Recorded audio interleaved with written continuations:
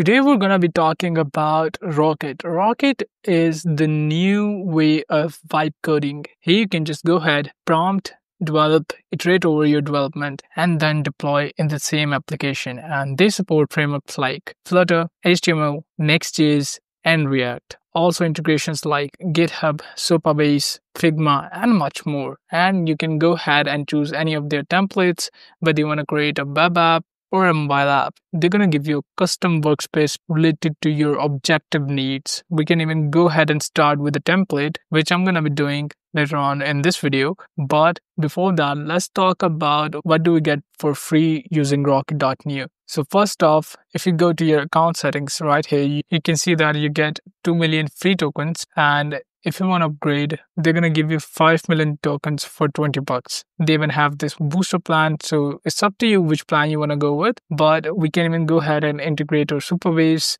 Figma, Netlify, and all of these other integrations if we wanted to. We just have to click on this switch here and this should connect to Supabase or any other application and you're going to have a very basic profile here. We also have the feature to import wireframes or designs from Figma. We can even attach documents and we can choose whether our project is going to be a public project or a private project. But for private, you will have to purchase their paid plans. Okay, so keep that in mind. With that said, let's actually get started with the video and start testing this out. So first, I'm going to test out one of the templates and then we're going to build something from scratch. So with that said, let's get started with the video. Hi and welcome back to SkillCurb. This is Ahosham Riz and we're finally getting started with the video. So we're here at rocket.new, which is Rocket Beta, and we're gonna go to templates here. So here you can see we have landing page templates, web apps, brand website, internal tool web, mobile app, and dashboards. So I'm just gonna go with one of the dashboards here. I'm gonna go with the pharmacy inventory. So use this template and as soon as you click on use this template, and you will see something like this. So this is a prompt that we gave to Rocket.new and it has created this dashboard for me. So you can see we're currently being the home tab and I can just go ahead and go to different tabs here. If I want to go to the operations monitor. So this is the tab for that. This is really cool. I can just go ahead and cancel out these notifications here. Okay. So we have med inventory there are operations, compliance, analytics, and we also have a profile here which I can sign out and settings. We also have a system status, like whether the system is connected or not. So we got a lot of things here, like quick actions, and this is quite thorough dashboard prepared by Rocket.new. I really like this. So I can just go ahead and publish this if I wanted to. So there you go. You can see that it has been published and and I can go ahead and update it whenever I want to, whenever I make some changes to it. And I can even go ahead and unpublish it. But for now, let's go ahead and click on this URL. So this should take us to our dashboard, which looks something like this. We also have selectors like main pharmacy, emergency pharmacy, and outpatient pharmacy. These are the three main pharmacies in any hospital out there. And this was built on top of React. But this was just one example. Now let's go ahead and make something from scratch. So we're going to be building a mobile app and I'm just going to go ahead and paste in the prompt here and then we can talk about the prompt. So this one is going to be a really extensive prompt where I'm going to design and build a visually stunning, highly functional workout planner. And this is for iOS and Android both, so we can use either React or Flutter and it supports both of them. As you can see, we're going to use modern design principles and smooth UI UX, and the goal is to help users plan, track, and stay motivated in their fitness journey. And then I have some core features right over here, which is like progress tracker, visualize stats, we have reminders and notifications and much more let's go ahead and actually proceed with this and check out the results because I'm really looking forward to this. So as soon as I hit enter, it's going to start working on it. So as you can see, it's understanding the request right now, and then it's going to start working on it. So it has decided that it's going to be using Flutter for building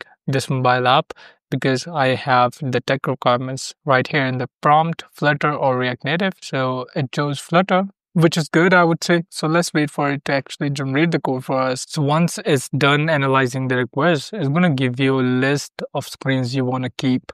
So make sure you only keep what you need because all of this directly relates to the number of token you're going to consume. as you can see here, token consumption is directly related to the number of screens generated. So I need a lot of things here. So splash screen, yes, and onboarding flow. Yes, I need that. I want one home dashboard and I also want one workout planner. I do not want active workout, workout details. No, I don't want a workout library because this is just more like a planner.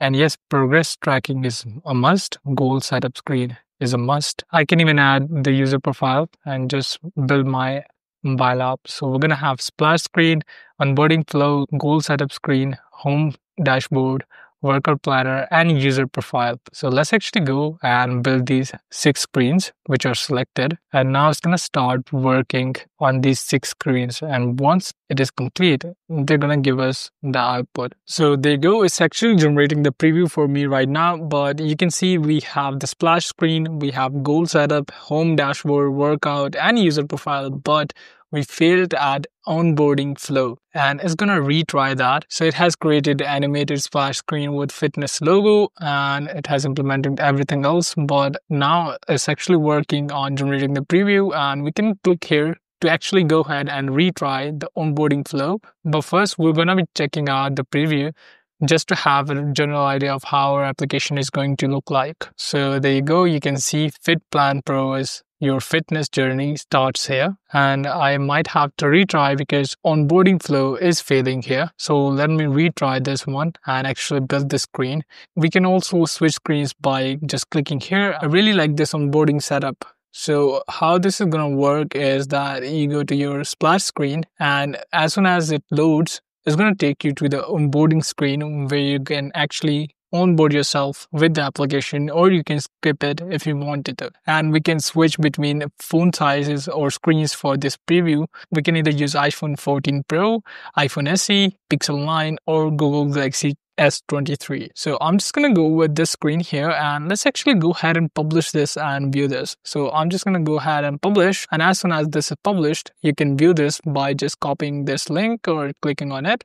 So this is how the deployed preview is going to look like and get started. As soon as you get started, it's going to take you to your fitness goals, whether you want to lose weight, gain muscle or stay fit. So I want to stay fit and that's it next workout preferences. So I want three days a week and I'm a beginner and I just have dumbbells. I like cardio and strength and that's it. Let's continue. So now it knows what are my goals, what do I have and how do I want the workout to be. So there you go. We have some stats here a workout that I can start by clicking here. We have the quote of the day, which is really cool, and some upcoming workouts like yoga flow, cardio blast, upper body strength.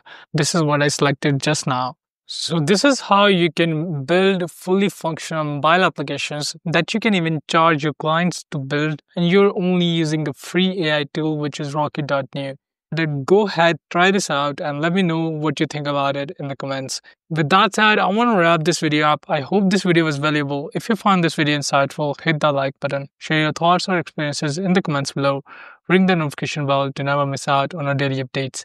Thanks for watching, and we'll see you in our next video. Till then, stay curious and keep exploring.